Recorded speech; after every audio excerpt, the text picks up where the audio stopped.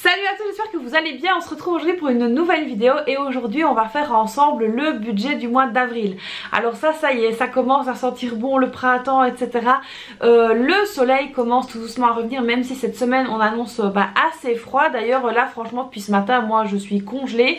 Euh, mais bon, voilà, euh, c'est aussi ça le jeu. Hein. Fin mars, on a encore un petit peu les giboulés, etc. On va seulement arriver au mois d'avril, donc patience, je pense que les beaux jours vont donc arriver. Alors on va donc faire le budget du mois d'avril, vous allez voir j'ai fait quelques, petits quelques petites adaptations parce que du coup au mois d'avril il va se passer pas mal de choses. Alors à savoir qu'il euh, reste encore quelques jours de ramadan pendant le mois d'avril. On a de plus ou moins vers le 8-9 comme ça donc euh, on sait jamais trop quand ça s'arrête. Donc on sait que bah, au moins la première semaine voire les 10 premiers jours on est encore en période de ramadan. Alors ensuite de cela euh, fin du mois donc à partir du vendredi 26 jusqu'au 13 je pense les filles sont en congé scolaire et là elles ont quelque chose de prévu pendant les deux semaines. Donc ici je vais juste pas dire quoi euh, sur les réseaux parce que bah voilà ça concerne mes filles. mais bon elles ont quelque chose de prévu pendant les deux semaines et c'est vraiment très très chouette. Euh, donc voilà. Alors euh, pour le mois d'avril c'est à peu près tout. On va essayer de faire hyper attention au niveau du budget. Ce mois-ci c'est vraiment un objectif qu'on va se mettre euh, là avec mon mari de ne pas faire trop de dépenses. Bah, tout simplement pourquoi? Parce que les vacances d'été approchent et qu'il nous faut quand même du budget pour partir hein. vous avez vu dans ma vidéo budget de ramadan bah, budget pardon de vacances qu'il nous faut quand même un budget pour aller en vacances. Donc là c'est vrai que je veux dire les dernières choses où on pouvait dépenser entre guillemets c'était pendant euh, le ramadan, c'était un mois comme je l'avais dit qui était assez compliqué. Euh, donc là vous avez vu la clôture etc. Donc de fait ça a été un mois qui a été placé sous le signe un petit peu euh, de certaines dépenses. Mais voilà ce n'est pas grave. Alors concernant justement les vacances scolaires, je n'ai pas fait de, de budget vraiment spécial parce que comme j'ai dit mes filles sont occupées. Donc on n'aura pas de moment pour sortir etc. vraiment avec les filles en famille. Donc ça on n'aura pas du tout pendant les deux semaines de congé donc c'est déjà ça. On va déjà pouvoir aussi faire une petite économie là-dessus. Euh, sinon bah on a deux trois petits aménagements à faire on a deux trois petits travaux à faire ici dans la maison. Je pense qu'on va en profiter pour les faire à ce moment là mais bon rien n'est moins sûr parce que bah voilà on ne sait jamais au niveau euh, du budget si on n'a pas un imprévu. Euh, donc là on va tout de suite regarder bah, mon écran et on va donc faire le budget ensemble et je vais vous expliquer un petit peu tout ça en détail. Allez c'est parti let's go on y va donc voilà ici les amis le fameux tableau de budget. Alors ici on va tout de suite changer le mois. Donc je sais que vous êtes euh, nombreux euh, à aimer ce tableau. Donc je suis très très très contente. Et donc on va pouvoir faire le budget. Alors euh, de revenus je laisse 3500. Pourquoi? Parce que je sais, alors ça vous êtes aussi beaucoup à me poser la question en me disant mais Christelle pourquoi est-ce que tu mets beaucoup moins si ton mari touche plus, on va dire que c'est considéré comme bonne surprise euh, s'il touche plus et puis s'il touche moins, on sait que on a de quoi faire avec ce qui est là. Alors, euh, on va tout de suite commencer. Donc ça, vous avez vu hein, au niveau des revenus qui sont ici, 3500. Au niveau des énergies, donc là, ça ne change pas. Je laisse la même chose, 250. Ensuite, au niveau des assurances, 150. Au niveau euh, des euh, téléphones portables, donc 45 euros. Au niveau de l'internet télé et télévision, 43. Euh, c'est 42 NG, donc on va mettre 43. le syndicat, 19. Alors la mutuelle, c'est payé pour 3 mois, du coup, je ne mets rien. Par contre, il faut que je recommande du sel pour l'adoucisseur d'eau. Et là, c'est 72 euros et 45 centimes. Alors d'ailleurs, euh, pour le sel avec l'adoucisseur, là, il faut que je vois combien de temps on va parce qu'il me semble qu'on en utilise beaucoup. Donc ça, il faut que je check. Alors, ensuite, la maison, 1000 euros, ça, ça ne change pas. C'est comme d'habitude. Euh, ça, reste, ça reste chaque fois similaire. Ensuite, au niveau des dépenses. Alors, au niveau du drive, là, je vais mettre 250. J'avais mis 280 le mois dernier, mais là, je vais mettre 250. 200 euros pour la viande, ça, ça ne bouge pas. Par contre, pour l'épicerie, j'avais mis 150 et maintenant, je vais monter à 200. Ensuite, au niveau du carburant, là, je vais laisser les 180 qui étaient initialement prévus parce que normalement, je dis bien normalement, les travaux sont censés être finis cette semaine. On va croiser les doigts. Au niveau de la santé, 50 euros. Au niveau de la beauté, 30 euros. Ça, on ne change pas. Pareil, une équipe gagne. Euh, au niveau des dépenses diverses, 50 euros. Au niveau de l'école, là je mets seulement 50 euros bah, parce que tout simplement euh, il ne reste pas beaucoup de temps. La petite ne veut plus du tout aller à la cantine. La grande, encore un petit peu suivant certains plats. Mais euh, en tout cas, avec 50 euros, il y aura largement assez. Je vais mettre 100 euros pour les animaux. Et là, ce mois-ci, je ne vais pas faire d'enveloppe promo. Euh, parce que je ne suis pas vraiment pour l'instant convaincue de son utilité. Parce que c'est vrai que j'ai l'habitude en fait de faire euh, passer bah, les promos dans mon, chariot de course tout simplement. Donc voilà, à voir si cette, si cette enveloppe, j'en ai besoin ce mois-ci. Si j'en ai besoin, ben, c'est pas grave. Je vais prendre dans mon budget course et puis je la répercuterai euh, pour le mois de mai. On refera une, enveloppe promo au mois de mai si j'en ressens le besoin. Alors ensuite, au niveau des vêtements, là, comme vous avez vu, j'ai ajouté 100 euros. Euh, parce que je vais donc avoir besoin de prendre des vêtements pour mes filles. Euh, parce que ben voilà, le printemps arrive, il y a des choses trop petites, il y a des choses qui doivent changer. Donc 100 euros, ça pourrait être pas mal. et donc ça, c'est vraiment pour elles. Donc là, ici, on voit qu'on a un restant qui est donc ici de 710 euros et 55 centimes. Alors, je pense bien honnêtement que je peux augmenter à 150 euros les vêtements. Ça fera, ça fera l'affaire. Donc ça, c'est pas mal du tout. Alors, ensuite, on continue. Au niveau du fonds de secours, on va mettre 50 euros. Anniversaire. Là, je dois mettre un peu plus parce que c'est l'anniversaire de la petite et que, ben voilà, ça a été un peu compliqué. Donc là, je vais mettre 150. Enfant, je vais rien mettre du tout. Rentrée scolaire non plus ce mois-ci. Euh, par contre, euh, ici, autres et vacances. Alors là, pour autres, euh, je pense que je vais mettre 200. Non, d'abord pour vacances, je pense que je vais mettre 250. Voilà, 250 ici pour vacances.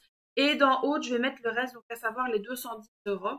donc je vais mettre 200, comme ça on aura 10,55€ en plus. Donc ça, on va laisser sur compte. Donc ça, je vais noter bah, sur compte. Ça, j'ai un petit secours au cas où de 10,55€. Euh, voilà. Alors, euh, ici, j'insiste bien sur le fait que, donc on est bien à zéro, voilà. J'insiste bien sur le fait que pour ici, les vacances, bah, vous savez, c'est les vacances d'été. Et pour autres, là, c'est ce que donc mes filles vont aller faire les deux semaines de vacances. Euh, je vais, euh, je vais déjà leur mettre ça. Et après, peut-être qu'avec le budget du mois de mai, je compléterai. Mais euh, au moins comme ça, on est bon déjà pour, pallier à ces dépenses-là qui vont être un petit peu plus, un petit peu plus, grosses, je vais dire, que d'habitude. alors vous avez peut-être l'impression que je vous parle en mot codé, mais voilà, je ne tiens pas du tout à ce qu'on sache ce que mes filles vont faire pendant les vacances, parce que ben voilà, ça reste de la sphère privée. Mais bon, bref, euh, donc passons. On est là, on est bon. On est à un budget à base de zéro, très très important. Euh, les énergies, là, je vais voir un petit peu euh, si ça va diminuer avec les beaux jours qui arrivent. J'espère pouvoir diminuer un peu, bah, tout simplement pourquoi? Parce qu'il refait beau et que quand il fait beau, bah, on ne, on ne chauffe plus, etc. Donc là, moi, j'ai coupé le chauffage. Actuellement, il n'y a pas de chauffage chez moi pense que chez beaucoup de monde aussi d'ailleurs. Mais c'est vrai que là aujourd'hui il fait un petit peu cru, hein, par exemple. Mais bon, voilà, c'est pas grave. Ensuite, au niveau des assurances, 150 euros, là je pense que c'est largement suffisant. Téléphone et internet, bah là on faire, euh, saurait pas faire autrement. Hein. Ensuite, euh, syndicat 19 euros, ça, ça, se retire automatiquement. Le sel 72,45 euros, bah là c'est euh, ce qu'on doit payer à chaque fois pour une livraison. La maison, on est à 1000 euros, ça, on ne s'est pas changé. Euh, concernant donc ici toutes ces dépenses-là, donc là, on a quand même un total au niveau de nos dépenses de la vie courante de 1260 euros. Donc, si vous avez regardé, quand je fais donc, quand je tire ici, vous avez automatiquement le total qui se met ici. Et si vous voulez avoir certains montants, voilà par exemple euh, ce que je dépense en jaune, bah, il suffit d'appuyer sur la case avec la souris cliquée à gauche et puis ensuite vous appuyez sur le bouton CTRL et vous venez sélectionner le reste des cellules dont vous avez besoin. Et là, vous allez voir que pour remplir mes enveloppes, j'aurai besoin de 680 euros. Donc voilà ici pour euh, la petite info du jour. Donc, comme je l'ai dit, le drive 250, la viande 200 et l'épicerie 200. J'ai augmenté un petit peu au niveau de l'épicerie parce que, ben voilà, comme je l'ai dit, il y a encore une semaine de ramadan. 180 euros pour le carburant, la santé 50. Alors, pour ne rien vous cacher, j'aimerais augmenter un petit peu la beauté. Mais je pense qu'on va attendre un petit peu, peut-être le mois de mai. À voir. Euh, on va voir ce qu'on va faire. Mais voilà, je souhaiterais augmenter un petit peu la beauté pour prendre un peu soin de moi. J'en ai grandement besoin. Ensuite, 50 euros dans le divers, 50 euros dans l'école, 100 euros pour les animaux et 150 euros en vêtements. Donc voilà, et alors ici, bah, vous avez vu au niveau des épargnes, je vous ai déjà expliqué. Et on est bien donc à un budget à base de zéro, donc c'est quelque chose qui tient la route. Alors évidemment, comme chaque fois, moi j'imprime donc ce tableau. Euh, j'ai besoin d'avoir en version papier quand même, donc euh, j'aime beaucoup imprimer le tableau. Donc voilà ici pour mon budget. Voici donc mon budget euh, pour le mois d'avril qui est donc préparé. Alors, on a aussi au mois de mai et au mois de juin les primes qui vont arriver. Donc les primes, elles vont aussi nous servir pour les vacances, etc. Mais pas que, on doit aussi changer les pneus de la voiture. Donc là, on avait des pneus hiver, on doit mettre des pneus été.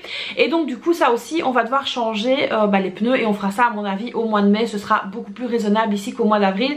Sachant que comme je viens de vous le dire, bah, les filles ont quand même euh, deux semaines et donc du coup il faut pallier aussi à ces deux semaines là qui euh, nous coûtent quand même un petit peu mais qui euh, vont être très bénéfiques pour elles. Donc voilà ici euh, bah, pour le budget. J'espère que ça vous aura un petit peu inspiré, ça vous montrera un peu comment je fais. Alors évidemment d'un mois à l'autre, désolé pour les chiens, d'un mois à l'autre c'est un petit peu bah c'est un petit peu la même chose mais pas que parce que bah voilà il y a d'autres il y a d'autres petites choses qui, qui viennent se rajouter mais c'est toujours très très important de mettre son budget sur papier et de voir un petit peu vers quoi on se dirige pour le mois. Donc ça c'est vraiment hyper important. Moi en tout cas c'est un moment euh, que je ne raterai pour rien au monde. J'ai vraiment besoin de faire ça, de faire mes suivis, etc.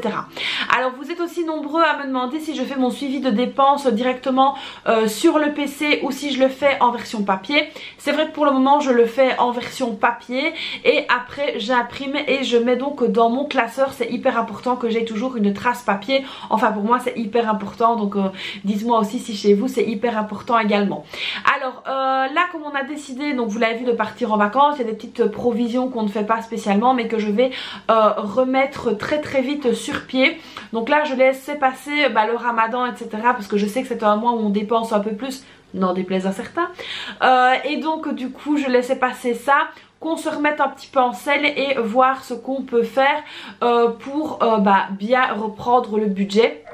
Donc euh, comme je vous l'ai dit euh, et comme vous l'avez vu 2023 a été une année compliquée là il faut se remettre un peu en selle mais dès qu'on sera remis en selle on va remettre bah, nos provisions etc.